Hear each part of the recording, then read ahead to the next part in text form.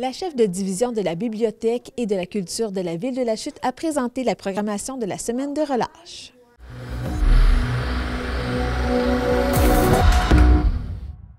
Claudia Tremblay en parle ensemble de la programmation de la semaine de relâche. Plusieurs activités sont à prévoir du 28 février au 4 mars prochain à la chute, selon Claudia Tremblay. Oui, alors euh, on reçoit euh, le, la compagnie Tortue Berlu, donc euh, qui est une compagnie de théâtre. Euh, ils étaient venus euh, avant Noël, donc pour un spectacle de Noël qui avait été fort apprécié.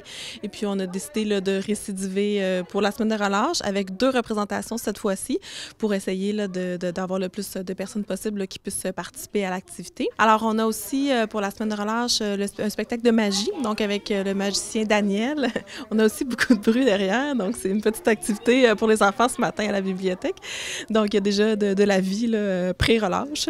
Donc, oui, alors on a un spectacle de magie pour, pour la semaine de relâche. Alors, c'est vraiment pour toute la famille. On invite les enfants, les familles, des parents à venir, à venir s'amuser, venir voir le spectacle de magie. Il y aura deux représentations en termes de cinéma. Oui, alors on a deux films qu'on présente pendant la semaine de relâche. On a le film Encanto. Euh, en fait, il y aura deux représentations pour ce film-là. Donc, les familles pourront choisir euh, le moment où elles souhaitent y aller durant la semaine, en fonction des autres activités puis la température aussi.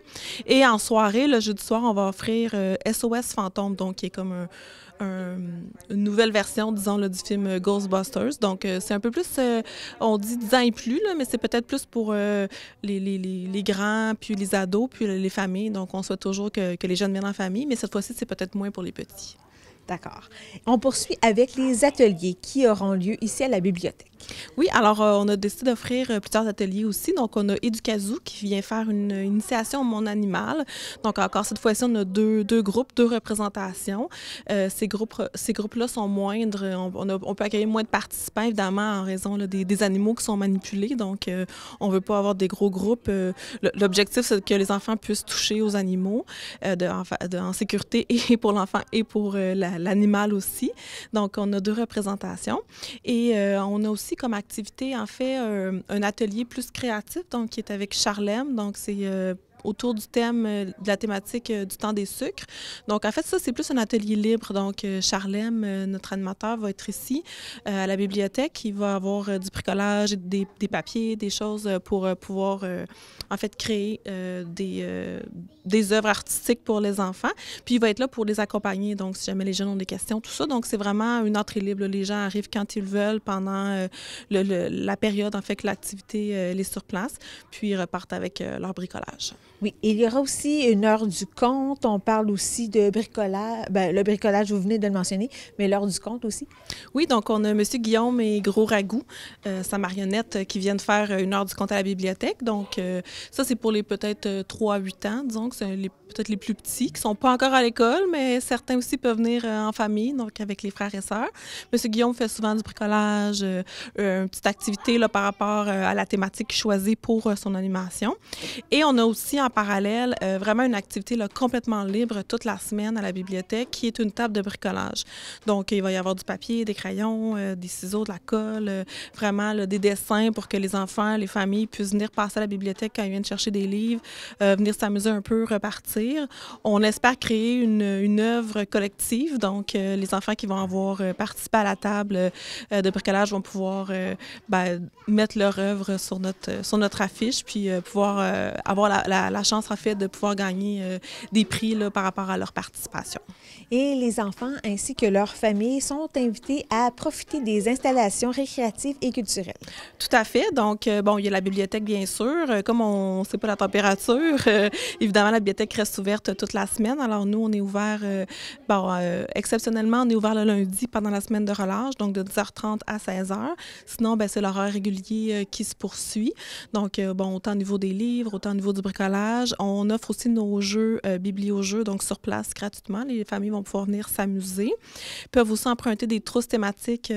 Euh, durant toute la semaine de relâche, donc avec des jeux, des dessins, des bricolages et une petite expérience, une activité créative à faire. Mais si jamais il fait beau aussi, on invite également les familles là, à aller, aller s'amuser dehors. Donc, toutes nos installations, nos parcs, nos sentiers de randonnée, les patinoires, évidemment, on souhaite qu'il fasse assez froid pour qu'elles puissent se maintenir jusqu'à la semaine de relâche et pendant toute la semaine. Mais sinon, il y a quand même toutes les, les buts de glissade, les sentiers bons pour marcher, je l'ai déjà mentionné. Euh, sinon, ben, il y a toujours aussi à l'intérieur la piscine. Donc, on a des bains libres toute la semaine. Surveillez bien l'horaire. donc, c'est bien important de s'assurer sur le site web de, vérifier l'horaire avant de, de, vous présenter. Puis, il y a aussi l'aréna. Donc, il y a également du patin libre toute la semaine. Encore une fois, c'est important de vérifier l'horaire avant de se présenter. Et ce vendredi même, 18 février, il y aura une disco sur glace. Oui, alors euh, on souhaite avec la température que ça puisse se tenir. Euh, donc c'est vraiment la musique, euh, musique disco en fait, musique festive, je dirais. on invite les gens à venir patiner au parc Baron en famille, puis à se déguiser aussi. Il y aura des prix de participation.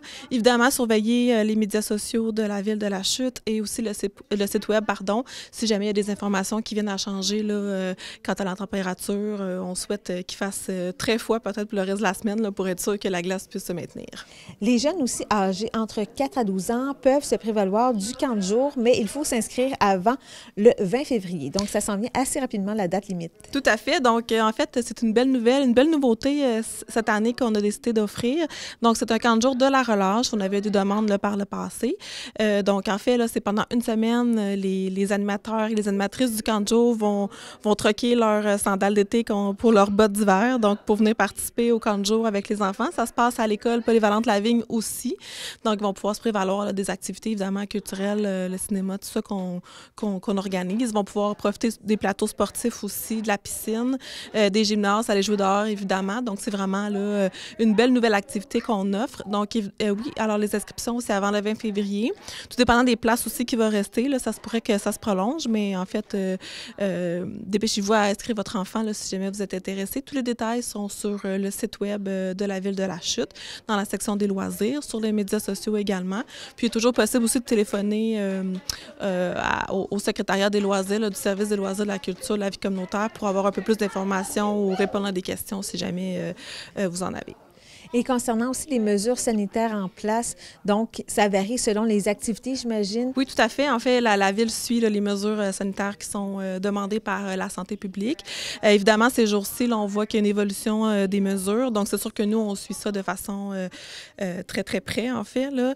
donc, on s'ajuste au fur et à mesure que les, que les nouvelles changent, que les mesures euh, évoluent. Euh, pour le moment, en fait, c'est ça. Donc, à l'intérieur, c'est le masque en tout temps euh, pour le port, pour le port du, du couvre-visage du masque. Ensuite, pour ce qui est du passeport sanitaire, la bibliothèque, on n'en a pas besoin. Donc, les bibliothèques ont été exemptées là, du passeport vaccinal par le gouvernement depuis le, début. par contre, pour ce qui est de la piscine, pour ce qui est de l'aréna, pour ce qui est du cinéma, des spectacles, effectivement, là, il y a, il y a le, le passeport sanitaire est demandé. Fait, euh, pour toutes les informations, savoir exactement euh, où c'est demandé, où ce n'est pas, dans quoi c'est nécessaire, on peut venir un peu mêler dans tout ça. Donc, euh, sur le site web ou dans le feuillet aussi de la relâche scolaire qui a été distribué dans les, dans les demeures, donc dans les des maisons de la chute. Toutes les informations sont là. Puis les gens peuvent toujours aussi nous appeler, soit à la bibliothèque ou au secrétariat des loisirs pour avoir toute l'information. Ça va nous faire plaisir de répondre aux questionnements.